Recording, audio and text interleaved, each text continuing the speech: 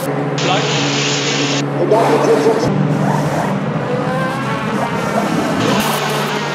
your mirrors, watch your mirrors.